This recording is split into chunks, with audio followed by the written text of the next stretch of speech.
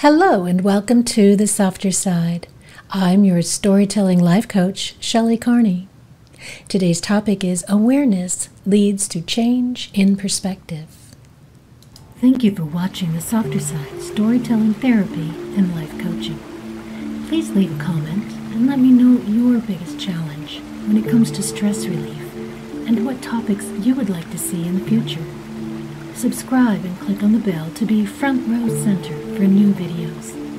Join us in the friendly, supportive live chat room for our live coaching videos and share the Softer Side channel with your friends and family members who need to reduce the stress and anxiety in their lives.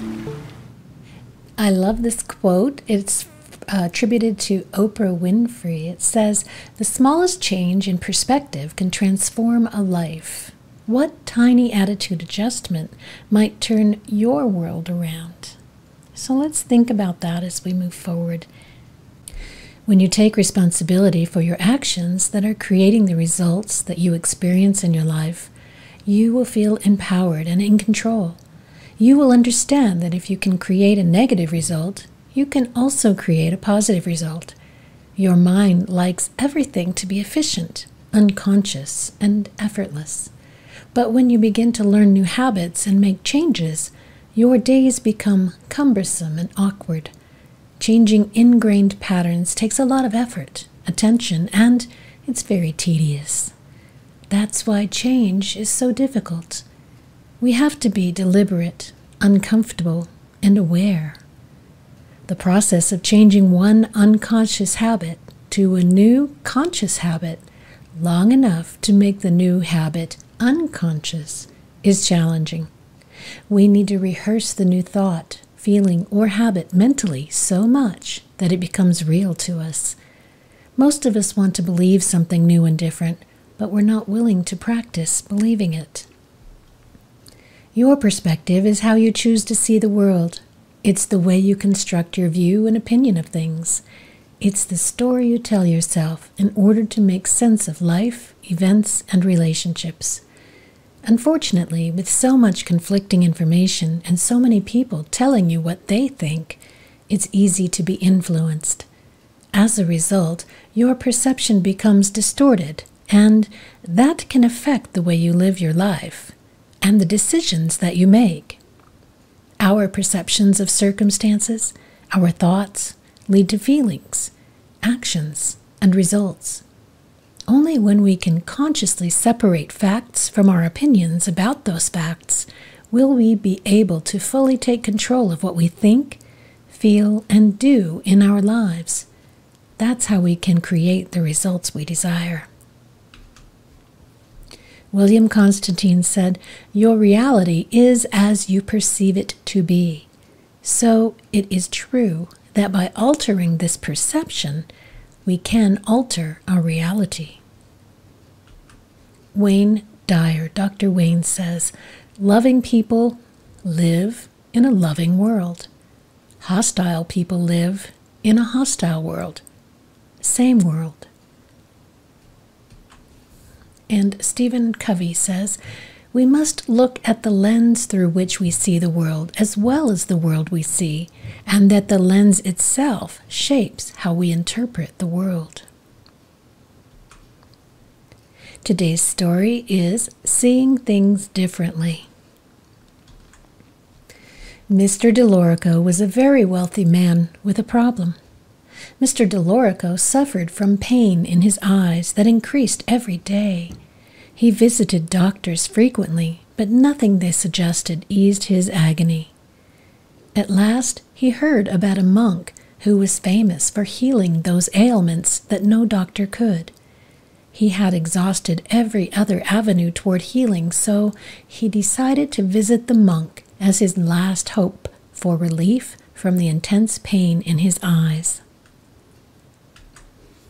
Mr. Delorico visited the monk and told him about his problem. The monk nodded along as he listened and looked carefully at Mr. Delorico's eyes. Then the monk pronounced his remedy.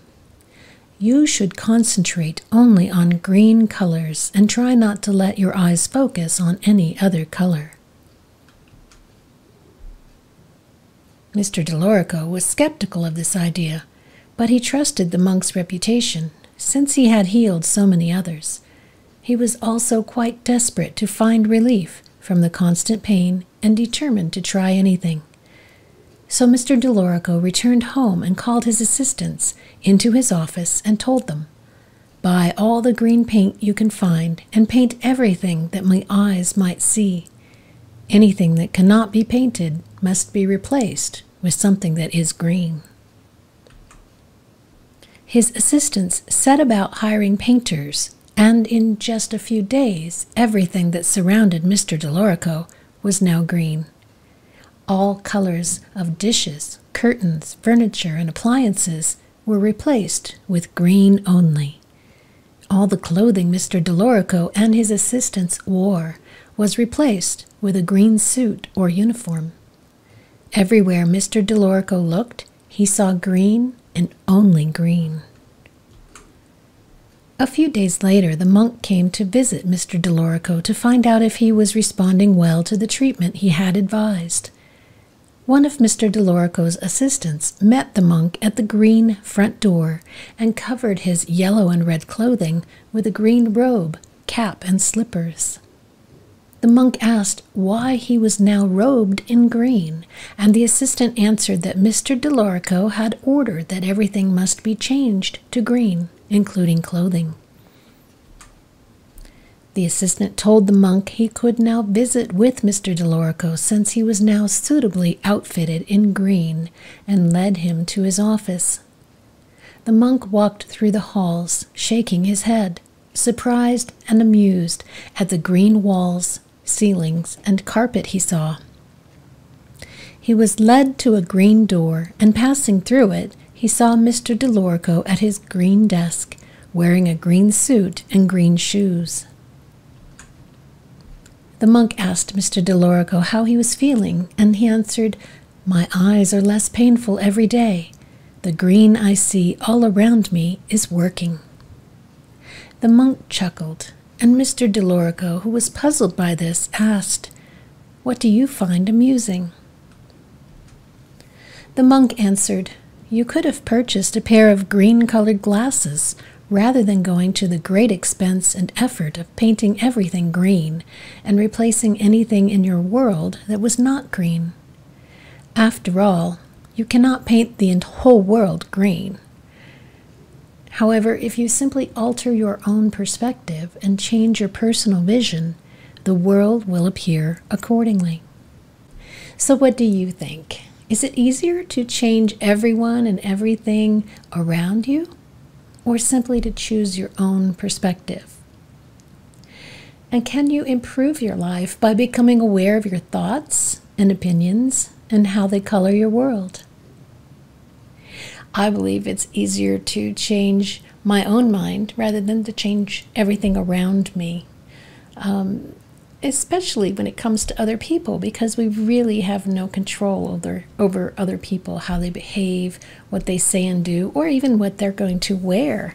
So it's much easier just to change our thoughts about what's in our world. And can I improve my life by becoming aware of thoughts and opinions? I think so. It's very important to understand the difference between what is fact and what is opinion. And once we do that, we'll be able to control our thoughts so much better, and that will help us to get the results that we desire. Don't forget, you can get this free booklet of the slides that you saw today for this story, Seeing Things Differently, at thesofterside.com, and that link is in the description box below as well.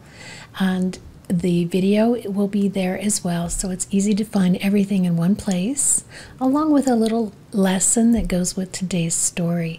So if you'd like to remember it better, I suggest you check it out at thesofterside.com and you can share that with your family and friends as well. Thank you so much for being here today for Storytelling Therapy, and I'll see you again very soon. I want to share with you an amazing free mini course I've developed for my subscribers to reduce stress and achieve inner peace. This mini course provides tips, exercises, and guided meditations to further enhance relaxation and bring calm to a frazzled life. Simply visit thesofterside.com to get your free mini course. And while you're there, you can also schedule a free coaching call with me to address your personal needs when it comes to releasing pain and achieving happiness. I look forward to seeing you again soon. Peace be with you. Namaste.